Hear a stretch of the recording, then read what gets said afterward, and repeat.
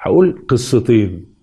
قصة يعني وراها آية وقصة التانية آه، مثل كيف كانت المدارس. القصة اللي وراها آية ربنا سبحانه وتعالى ذكر كل حاجة على الأرض. كل حاجة. وفي الأرض قطع متجاورات والنحل والنخل والزيتون والرمان وفي أنفسكم. على الأرض. استثنى من هذا الرزق. استثنى من ذكر على الأرض ده الرزق. قال جه لحد الرزق وقال وفي السماء رزقكم وما توعدون. كلنا حافظين الآية دي. وفي السماء رزقكم وما توعدون. ربنا سبحانه وتعالى عارف إن إحنا نفوس ضعيفة. هو اللي خلقنا. وعارف إن إحنا ضعاف جدا. ربنا لم يقسم بنفسه في القرآن إلا قليلا جدا. لم يقسم بنفسه إلا قليلا جدا. ياسين والقرآن الحكيم قسم. قاف والقرآن المجيد قسم. والعصر إن الإنسان خسر قسم. والتين والزيتون كل ده قسم. إلا في الرزق. استثنى بقى القسم ده. قال وفي السماء رزقكم وما توعدون. فورب السماء والأرض أنه لحق مثل ما أنكم تنطقون. يعني رزقك في السماء لا يمكن هيتغير إيه القصة دي بتفكرني بإيه؟ لقيت واحد بيكلمني في تليفون بيقول لي أنت ما بتجيش اجتماع الأورمان ليه؟ قلت له إيه اجتماع الأورمان ده؟ قال ده خريج مدرسة الأورمان بيجتمعوا في نادي كذا السبت الأول من كل شهر. قلت له ياه ده أنا نفسي أشوفهم قال لي اللي عايشين بيجوا واللي ميتين بنترحم عليهم والأساتذة اللي درسوا لنا اللي عايشين بيجوا. قلت له ياه ده أنا ما أعرفش.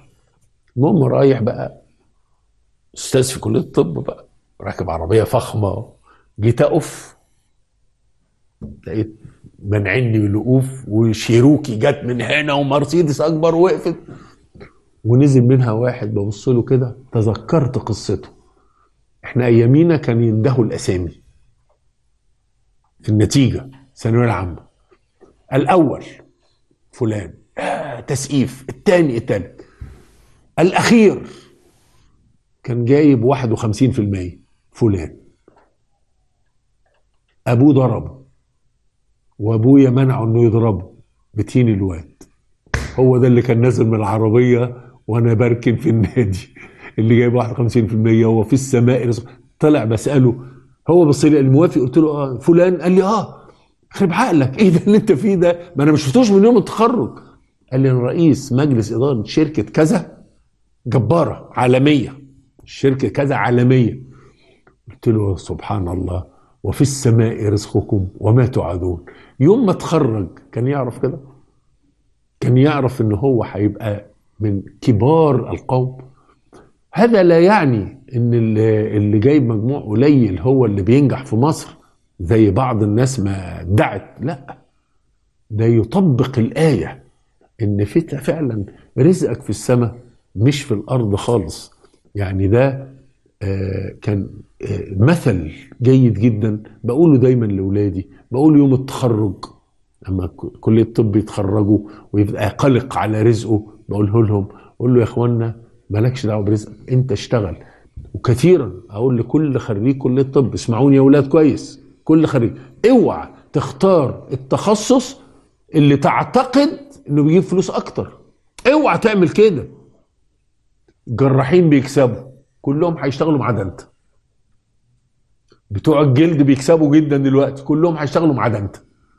بتوع اشتغل الشغل اللي بتحبها مش اللي تعتقد إنك بتجيب لك فلوس أكتر وإلا تبقى غلطان لأن تبقى مش مؤمن بهذه الآية. وفي السماء رزقكم وما توعدون. جالي واحد برضو كان معايا في الفصل. هو دخل صيدلة وأنا دخلت طب. فبيقول لي أنتوا عندكم مكافأة نهاية خدمة؟ طبعا طبعا. عندنا مكافأة نهاية خدمة. إحنا عندنا المكافأة نهاية خدمة في الجامعة. بتصل ل ألف جنيه بياخدها من مرتبي.